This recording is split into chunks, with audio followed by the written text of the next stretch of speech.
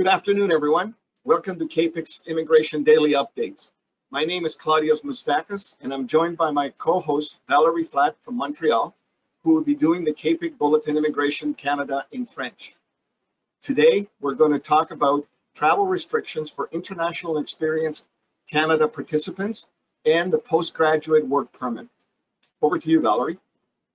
Bonjour tout le monde et bienvenue à notre bulletin Immigration Canada. Euh, puis bonne semaine à tous. Nous commençons aujourd'hui lundi avec les changements qui ont été annoncés en fin de semaine et en, durant la fin de semaine.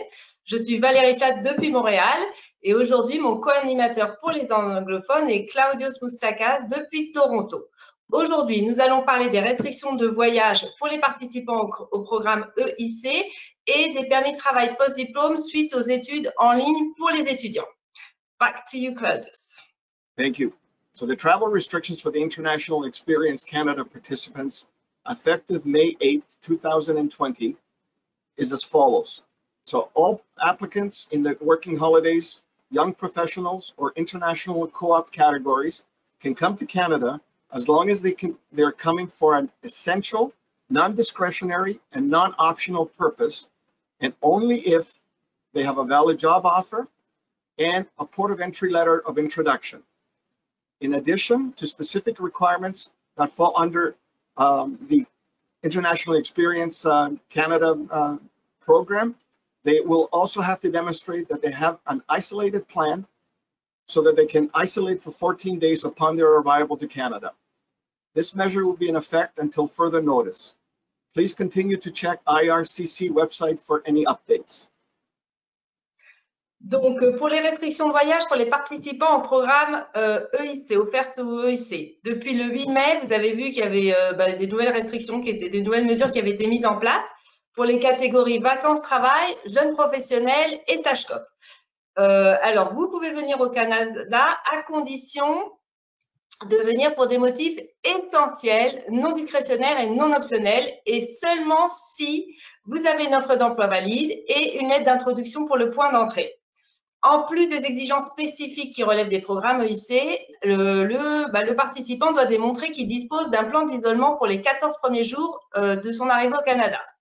Cette nouvelle mesure sera est en mesure donc depuis euh, depuis le 8 mai et puis euh, vous devez consulter le site IRCC pour voir si cela change ou pas et surtout pour consulter la liste des bah, professions qui sont non discrétionnaires et non optionnelles puisque cette liste change assez régulièrement Assurez-vous quand vous arrivez au point d'entrée que bah, en fait, vous allez devoir convaincre l'agent que vous êtes vraiment attendu par un employeur pour une offre d'emploi réelle et euh, bah, en fait essentielle.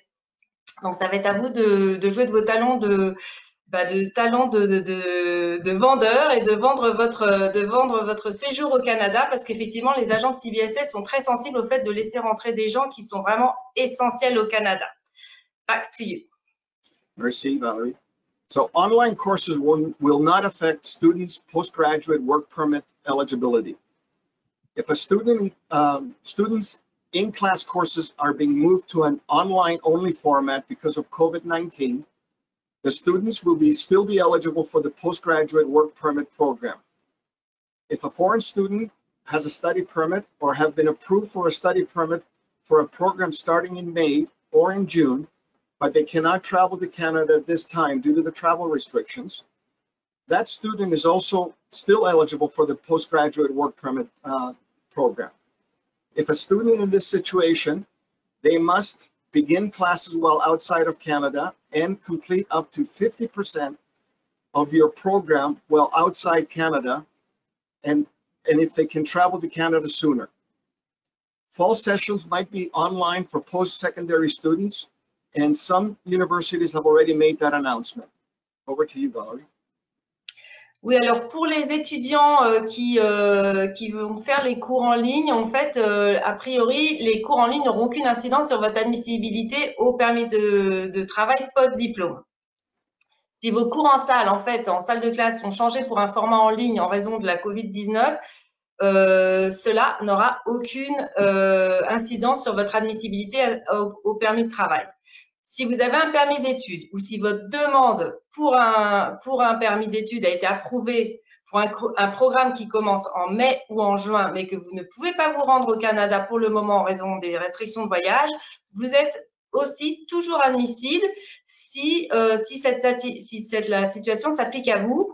Vous pouvez commencer vos cours pendant que vous êtes à l'étranger, donc vous commencez vos cours en ligne et vous pouvez compléter jusqu'à 50% de votre programme en ligne pendant que vous êtes à l'étranger. N'allez pas au-delà des 50% parce que c'est seulement si vous faites 50% ou moins que vous pourrez euh, faire une demande de permis de travail post-diplôme.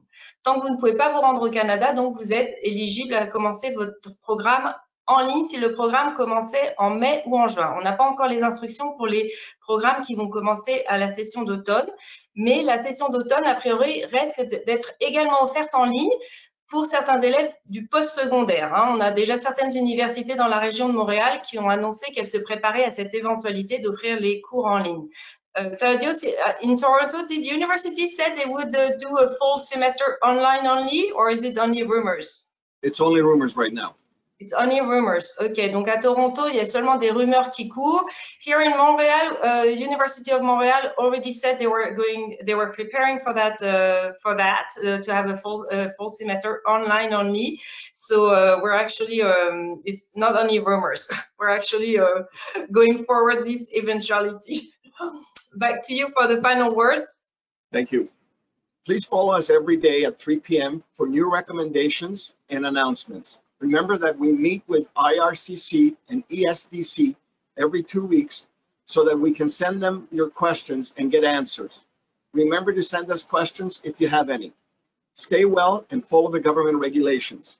Remember to go to visit our website at uh, myconsultant.ca where we post reliable information on immigration programs and updates during this COVID-19 crisis.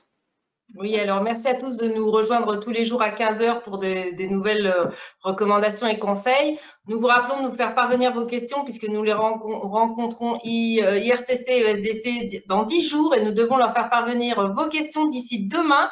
Donc demain mardi, faites-nous vite parvenir vos questions afin que nous puissions les rajouter à notre liste.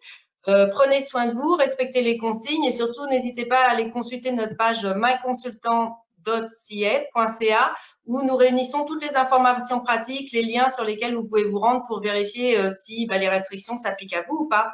En attendant, euh, bonne semaine à tous et puis à, à demain. Bye Claudius, have a nice week. Same to you. Thank you. Bye bye. Bye bye.